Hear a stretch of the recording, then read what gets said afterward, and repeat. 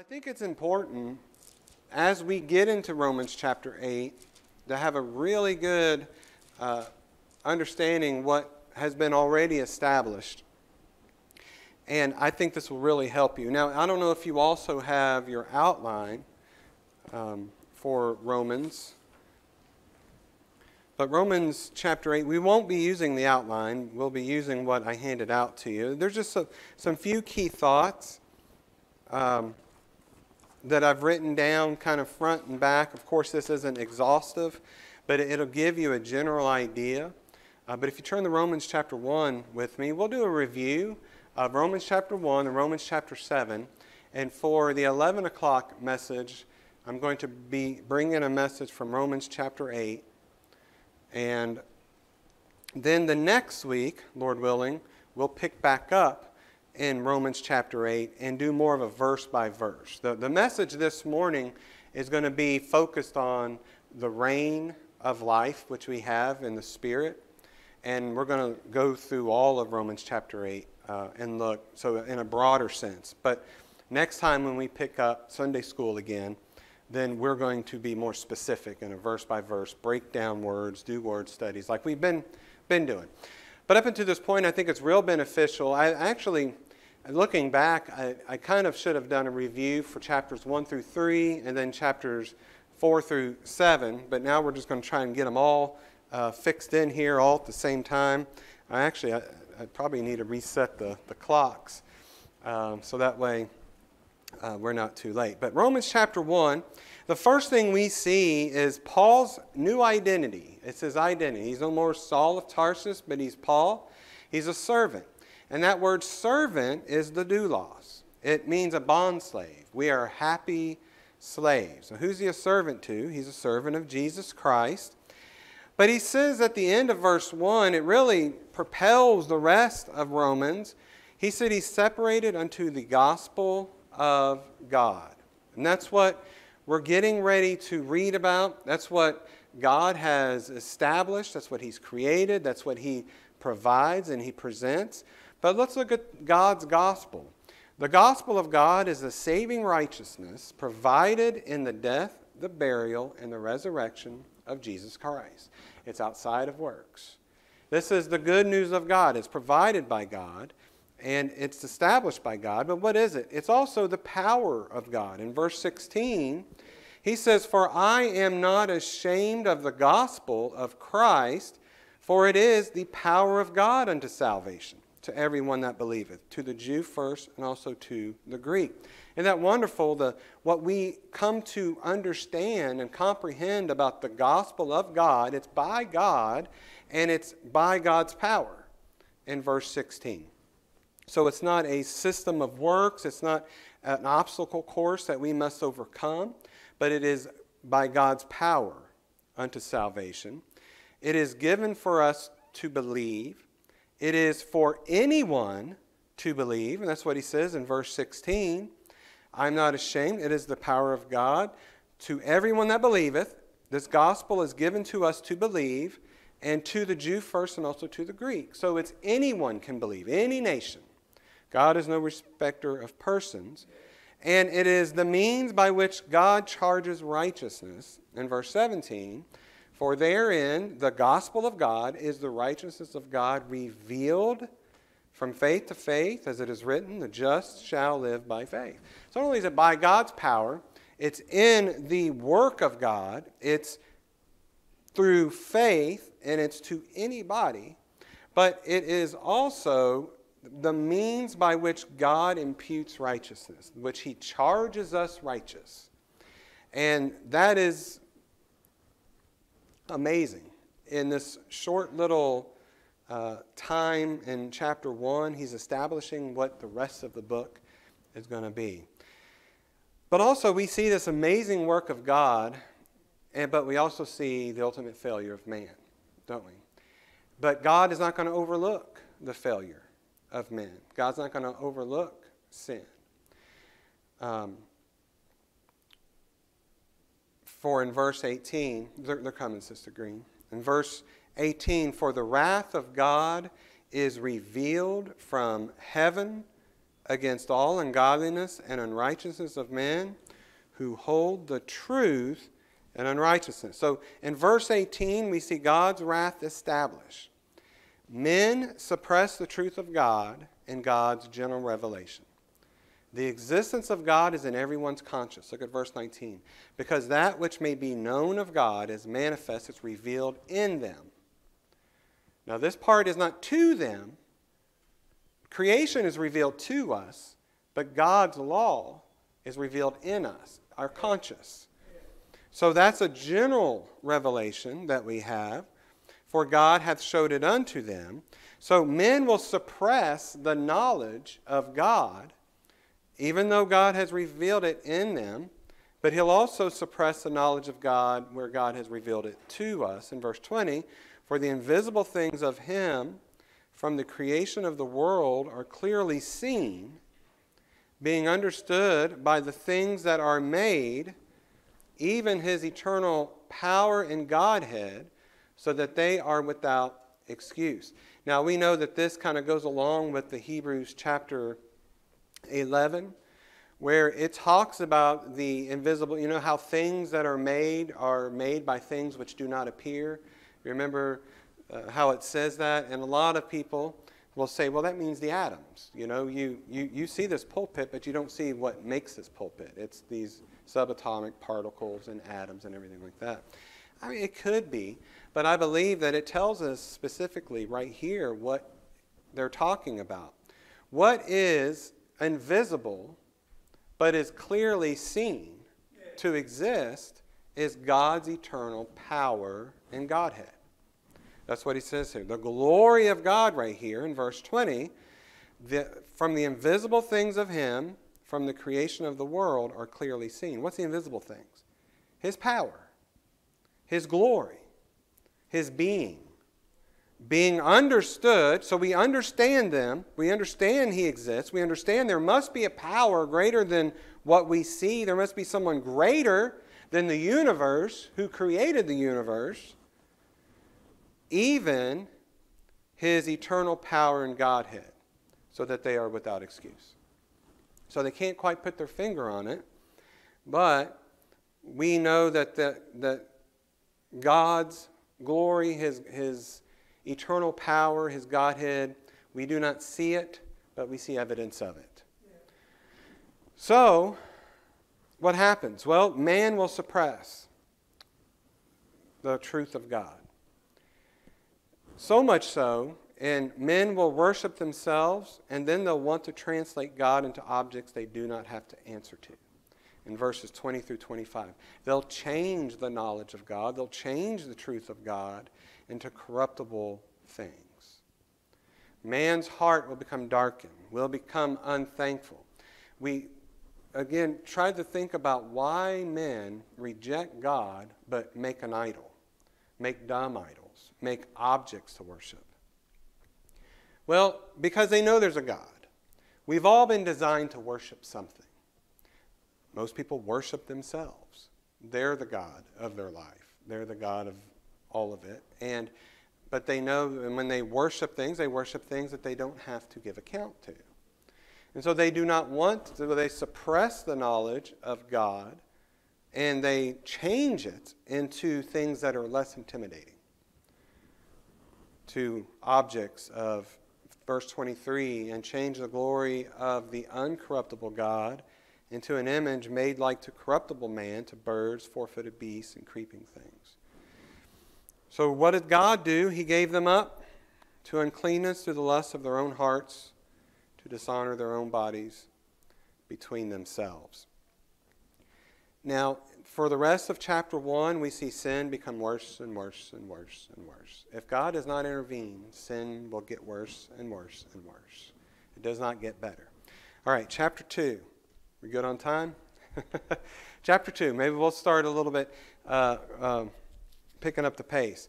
Now, chapter 2 talks about sin not only being present, you know, with the lawless and those who are doing despicable things. Well, uh, sin is present not just in obvious gross corruption, but also in self righteous religious people. Now, look, you know, just because it's gross what they're doing, It's open. It's, they have no shame. They have glory in their shame. They're bragging in their shame. And the things that they're doing, they know they're worthy of death to, to do. We didn't read that in chapter 1, but it's there. But also, Paul redirects it now to the religious people, who are the ones who are doing the finger pointing. You know, it's kind of like the Pharisee and the publican. And the Pharisee is like, you know, I, I thank God that I'm, I've, I've, uh, I'm not a liar, I'm not a swindler, I've not done these, I'm paraphrasing. Uh, I've not done all these things, but, you know, I thank you for, that I'm not like this publican, you know, who's here.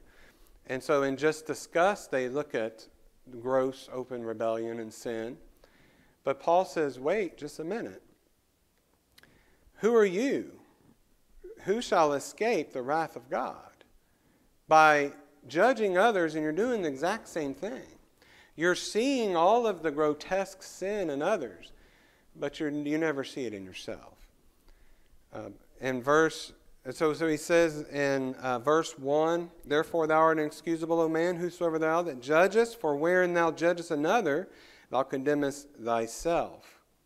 For thou that judgest doest the same things. Uh, you can't plead ignorance. You really can't. If you're, if you're so quick to judge others' sin, you know it's a sin. No one will be able to plead ignorance before God. But the very fact that you're calling it out, you know it's right. You know it's wrong.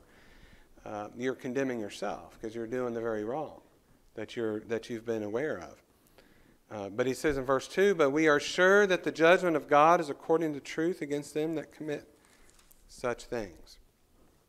So he says in 1 through 3 Before you judge the ugliness of sin in others as unredeemable scum, are we also guilty in our own sin?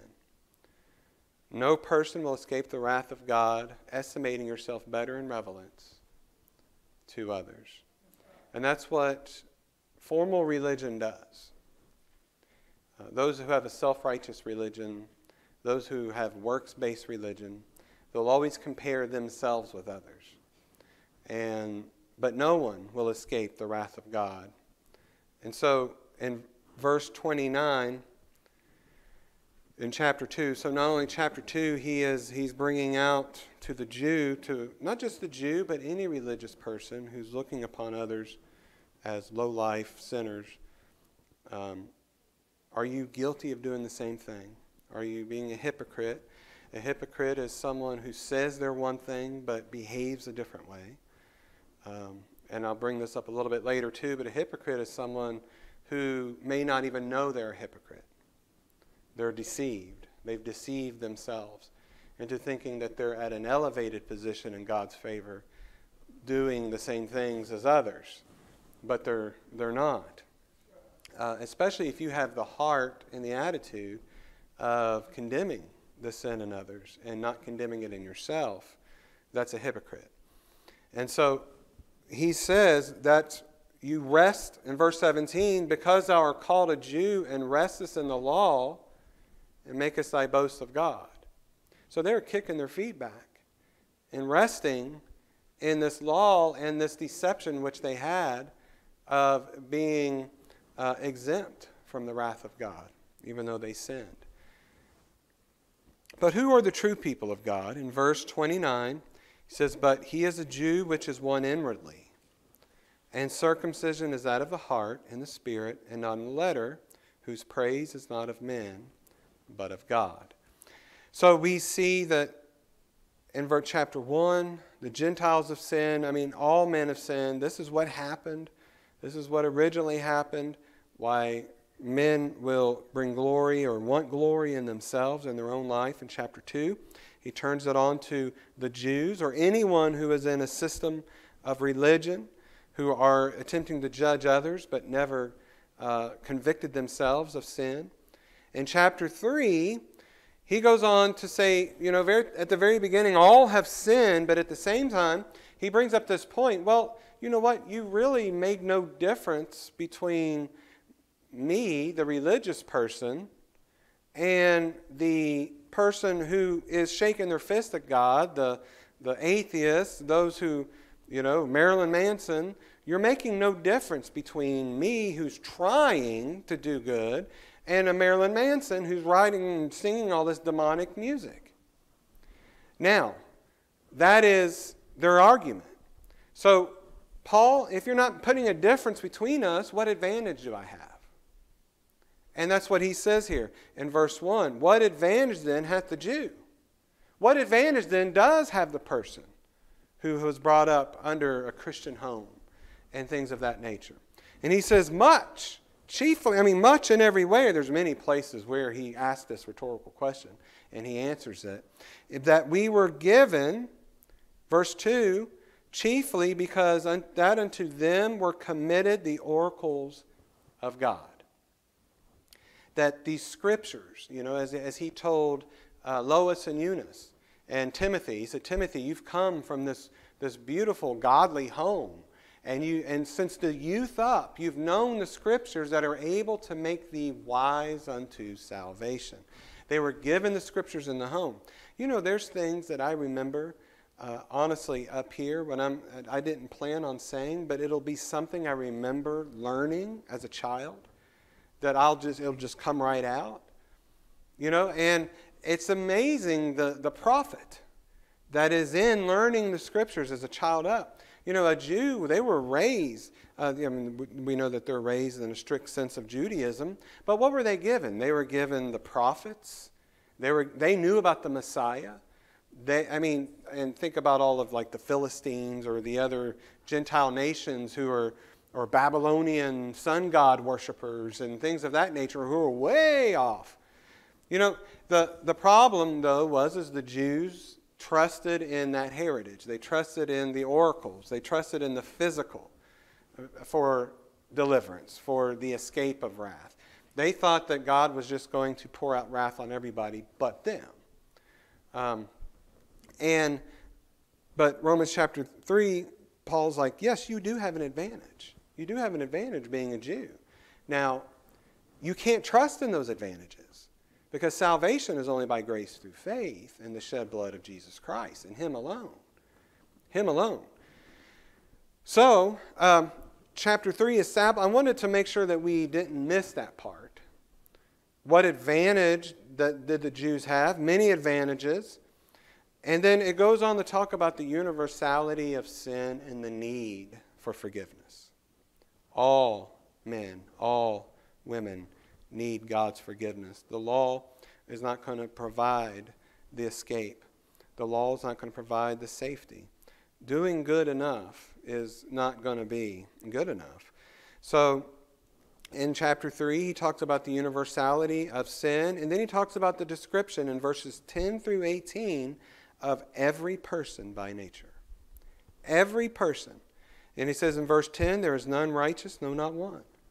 There's none that understandeth. There's none that seeketh after God. They are all gone out of the way. They are together become unprofitable. There is none that doeth good, no, not one. Their throat is an open sepulchre, which is a grave. With their tongues they have used deceit. The poison of asp is under their lips. Whose mouth is full of cursing and bitterness. Their feet are swift to shed blood. Destruction and misery are in their ways, and the way of peace have they not known. There is no fear of God before their eyes. So, this is the description of every person who is by nature. And we know that that is the condition of depravity, right there. It's just talking about all have sinned. Well, in chapter 3, if we are all guilty and we cannot be justified by the law, I'm on number 3, letter C here. We're all guilty and cannot be justified by the law, effort, or ignorance.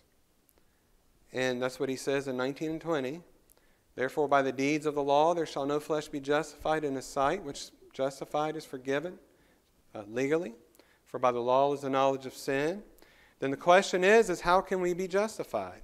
And he tells us in verse 21, but now the righteousness of God. Here's God's gospel again. It goes back to chapter 1. What's God's gospel? Now the righteousness of God without the law is manifested, being witnessed by the law and the prophets. If you read the Old Testament hard enough, you're going to see this. But the Lord reveals it to you. You're going to see how the righteousness of God is not by the law, but it is by Messiah. And that's what the law and the prophets witness to. Verse 22 Even the righteousness of God, which is by faith of Jesus Christ unto all and upon all them that believe, for there is no difference. Righteousness of God is provided by God, verse 21, to anyone who believes, in verse 22. How can God provide righteousness? In verses 24 through 26. He provides it by grace, in verse 24, being justified freely by His grace through the redemption that is in Christ Jesus. I'm on D 2 1. By grace, through the redemption Jesus has procured, God made Christ the altar in his blood to cover sin. God is just to forgive sin of those under the blood and punish for sin to those who are not. God's gospel results in a scenario of a saved person of I'm sorry, results in no scenario of a saved person to take credit or boast from any intrinsic values. And that's the rest of chapter 7. Well, I have chapter 3. Well, where's boasting then? Boasting has to be excluded because God's gospel is a gift from God, and it's by His power. It's not earned, it's not deserved, it's given freely by His grace. That means without works, without attachments. He just said, Here, I'm giving you a gift and we receive that gift by faith. Um, there's no bragging. There, there's no, you, you, you can't brag that you've led a, a higher moral life and therefore deserve to be saved and therefore deserve uh, God's to be pleased with you. So, salvation is by grace through faith in Him alone. It's a gift of God, thus any man should boast. All right, so moving right along, chapter 4. Now, Paul has established that we are justified by faith. Verse 24 in chapter 3 is one of the big ones because he'll go on and use this as another launch pad into chapter 4 and chapter 5. Because being justified freely, without a cause, remember that word freely means without a cause, by his grace, through the redemption that is in Christ Jesus. In chapter 4, he goes on to give us an illustration of how Abraham was saved by grace through faith. So, Abraham's faith was apart from works in verses 1 through 8. And verse 2 of chapter 4, he says, For if Abraham were justified by works, he hath whereof to glory, but not before God. For what saith the Scripture? Abraham believed God, and it was counted unto him for righteousness. So he says, Now to him that worketh is a reward not reckoned of grace, but of debt. But to him that worketh not, but believeth on him that justifieth the ungodly, his faith is counted for righteousness. It really comes down to that, doesn't it? I mean, we know that the, God must give us the Spirit, the Holy Spirit, to open our eyes, to open our ears, and then regenerate us, to make us willing in the day of His power, to repent of our sins and believe in Him. But when you start looking at why people don't, especially from the religious crowd, there's this swell of pride in their life. They just will not surrender pride. They won't surrender their years of service of what they've done. They're, you know, uh, they honestly they're sitting and they have treasured up for themselves all these works that they've done throughout all the years, and they have this body of of work that they've done that they want to present before God. Now, think about Cain and Abel, same way. Cain was a tiller of the ground, and he wanted to say, you know what, I'm, I'm really good at doing this, and I know God commanded me to do it his way, but I'm going to do it my way. And not only uh, will I make God happy, but I'm going to be proud of the work I do. So that, a lot of the times, is a religious but lost kind of person. Um, they want to present their works, be proud in it, and honestly, if I'm proud of it, God should be too. And so that is where we see this breakdown with the Jews, with formal religion, and everything. Paul says that you have not submitted yourselves to the righteousness of God. You've not fully denounced any work or anything that your hands have touched as filthy rags before God. That God's only going to receive the best. And the best is His Son. That's it. And so, uh, now when we're saved and we have the fruits of the Spirit, we do we are saved unto good works, right? Uh, we do it with a good heart, the right heart to bring glory to God, and only a saved person can do good works. So, but until then, um, our works are not good enough. That's what he says here. In verse 3, for what saith the scripture? Abraham believed God, was counted to him for righteousness. Now to him that worketh is a reward not reckoned of grace, but of debt. But to him that worketh not, that's what that means, but believeth on him that justifieth the ungodly. His faith is counted for righteousness. Now that doesn't mean you just don't work anymore. It means for salvation, you don't consider your own works. You only consider his. So that's what he means in chapter 4. Abraham is the same way. Here's the faith of Abraham. Abraham's faith was apart from circumcision in, in 9 through 12. I'm on the second page. His faith was apart from the law in verse 13 through 15. His faith was in God only, 16 through 25. One of my favorite verses in chapter 4 is verse 20. He staggered not at the promise of God through unbelief, but was strong in faith, giving glory to God. Abraham did not consider what his eyes saw as an obstacle to God keeping his promises. His ultimate confidence was in God more than what he saw with his own eyes. So he staggered not in disbelief. There wasn't anything in his life that caused him to stagger at his hope in God. And I, I love that. That's the kind of faith that we also must have in order to be justified. And that's what Paul's saying. How are, how are we justified? Uh, well, it's, you know, we must have like faith.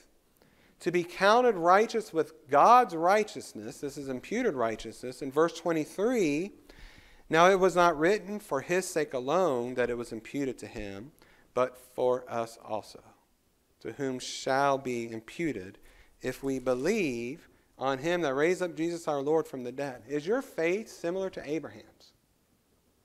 That's what it's saying. It wasn't written just so we can, oh, look, Abraham had this kind of faith. Huh?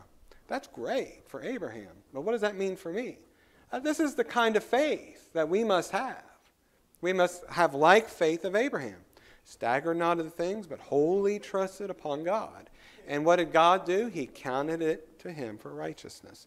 So, chapter 4 brings up that illustration. Chapter 5, um, I might have to get this clock reset down here. That's, I, I don't, that one's off and this one's off.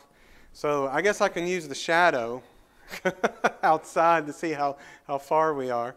Um, but chapter 5 now talks about the benefits, the glorious benefits of being justified by faith. Chapter 5 is one of my favorites uh, as we talk about uh, the benefits of imputed righteousness. It doesn't take us long to find out the first one. In chapter 5, verse 1, we have peace with God and we have the peace of God. So we have a judicial peace with God, being justified by faith. This is the only way to have peace with God. You hear it all the time. Uh, you know, uh, I don't know if it's any of those uh, Clint Eastwood movies it, it sounds like a line that may be in there, kind of like, you better make your peace with God. You know, the only way to make peace with God is through Christ. That's it. There is no peace with God outside of Jesus Christ. None. And so, being justified by faith, we have peace with God. And it, he goes on to talk about the other benefits. We have peace with and of God, and we rejoice in hard times, knowing that it's strengthening our faith in verses 2 through 5. That's also a beautiful benefit. But he goes on in chapter 5, verses 12 through 21, to talk about our position in God's imputed righteousness. What does it mean to be in Christ? We have an absolute assurance of being in Christ. Um, it's also a beautiful benefit of being justified by faith, the Holy Spirit giving us witness of this. And in verse 6, really, it talks about the accomplishment of Christ in verses 6 through 9, and how God commendeth his love in verse 8. His love toward us, and that while we were yet sinners, Christ died for us. When we were weak and could not come to God, God came to us, God sent his Son, and God bore our sin. What we could not do, he did for us by his power, because we are powerless to go to him. And if God so loved us, he's also going to keep us in his hands, isn't he? There's nothing that's going to uh, reach us that doesn't pass through. We just have amazing assurance of life. And verse 9, much more, we know we'll be saved from the wrath of God being in Christ. Verse 10 For if when we were enemies we were reconciled to God by the death of his Son, much more being reconciled, we shall be saved by his life. So we know that it took the gracious benevolence of God to initiate salvation because I could not come to him, nor did I want to come to him. But by his grace, he has rescued me from the bondage of sin, and it's the bondage of sin that gives us that attitude towards God. That we hate God. We don't want to come to God. We don't want the things of God. We don't want the light to shine in our darkness. We want we prefer to change the glory of God into corruptible things and then uh, just only you know, make these gods that are no gods that you don't have to have accountability to. And that's what natural man does. But, you know, I love it. God, knowing this, elected me before the foundation of the world. And that to, to one day that he should penetrate my heart, open my eyes and my ears, so that I could see that the dangerous state I was in and there and he saved me. He gave me the desire to come to him. Chapter 5 talks about that, our position in God's imputed righteousness in Christ. Adam's actions caused bondage and sin. I may just read the rest of this. Adam's actions caused bondage and sin to exist upon all. The reign of death. The law shouts at people they are guilty and transgressions are given more knowledge. And in, you can read that in 12 through 21. But in the opposite way, what did Christ's actions do? Cause freedom to exist upon all who believe. There's a reign of life. Grace is greater than what the law exposes. So you're going to hear me talk about this later because he really, because when we start in chapter 8, he picks this subject back up again the reign of sin and death versus the reign of the spirit and life. Okay, the, the, the two differences there. In chapter 6, he deals with the law and he deals with the sanctified life. Now, if you think about this, um, now we talked about sanctification as positionally and practically, and he kind of, you know, roughly divides the. It's not perfect, but he roughly divides chapter six into half, talking about the first half talking about our position as we're sanctified in Christ, that God has redeemed us. He's brought us from out from where we were to Himself in a judicial, legal way. Positionally, we have been separated. That's what sanctification is. We've been separated from where we are and brought to Himself for a purpose. Practically or experientially, we are living every day in this Christian life in the process of sanctification, that we are being conformed to the image of his Son, that we are one who are, was saved unto do good works. We'll never accomplish that in this flesh. And because we have this old outer man who's still with us, right? Um, inwardly, it has been accomplished. Positionally, it has been accomplished experientially it is being accomplished. So Paul goes on to say, you know, now that we have these benefits in chapter 5 of justification by faith and how we're in Christ and how we're secured in Christ, well, what about the law? You know, what about serving the law? And he says, well, well actually, what you're saying is, is now should we continue in sin? And that's the very first question he gives in chapter 6. God forbid. I'm actually, yeah. Shall we continue in sin that grace may abound? God forbid. How shall we that are dead the sin live any longer therein? So, what this means is not only do you not want to continue in sin, but you can't because we're in a reign of grace. We've been ransomed. We have a new master. We have a new father. We're in a new family. Uh, legally, we're in a new family. You know, so you can't continue in the old family when you've been when there's already been a legal transaction putting you in a new family. Nor do you want to go back to that. So we don't continue in sin. And then uh, I like uh, here in Romans 6, um, look at B, A. Legally, the child of God is the same as dead. The law demanded death and hell from the sinner, but Christ suffered that hell, died that death for the believer, so the believer is reckoned dead in Christ. So we cannot continue in a state that we were crucified with Christ in, but we're alive in the God now. So, what about continue to sin? So, if you put those two together, the first 11 verses, do we continue positionally in sin? It's impossible. Do you, and then the last half of the chapter, do we continue to sin? Now we're talking experientially uh, in our everyday life. No you should surrender the things which you used to be passionate about and now have passion in your new life to serve Him. That we yield our members to servants to righteousness, not servants. Don't you know that you are the servant to whom you serve? That whoever you serve is, has your ma- is your master. Your passions are the things of God, and your life should reflect it. And finally, in chapter 7, the old relationship to the law and new relationship to Christ is illustrated as a death and a marriage. Free to leave the behaviors of the old relationship in the past. The law is not evil, it has done its job, showing you death in the old relationship. But we all have an inner conflict. Paul discovered a law of life for the Christian. Actually, turn to chapter 7 because we're going to pick this back up in the morning's message. Look at chapter 7, verse 21. I find then a law. This is a principle. This does not mean the law of the Ten Commandments, a law that you can disobey. This is a law that you cannot break. It's impossible to break, like the law of gravity. Right? the gravity is a law, not a suggestion.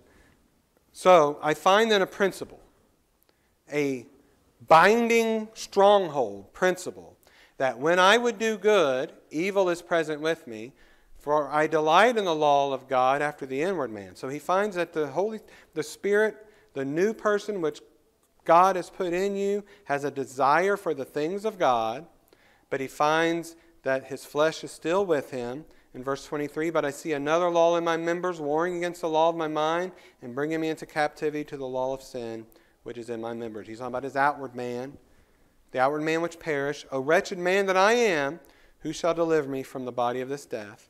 I thank God, that's rhetorical. He knows.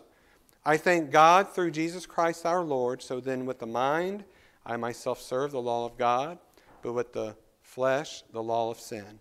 So we are talking about the law of sin and death versus the law of the spirit of life.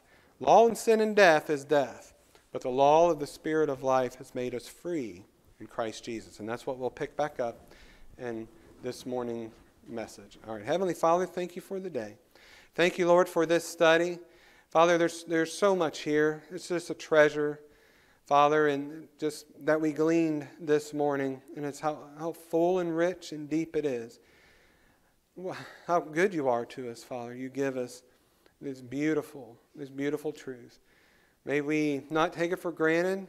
May we um, see it for the treasure that it is, and we, may we hide it in our heart. Lord, we do pray your blessings upon the remainder of the, the day and the worship service. In Jesus' name, amen.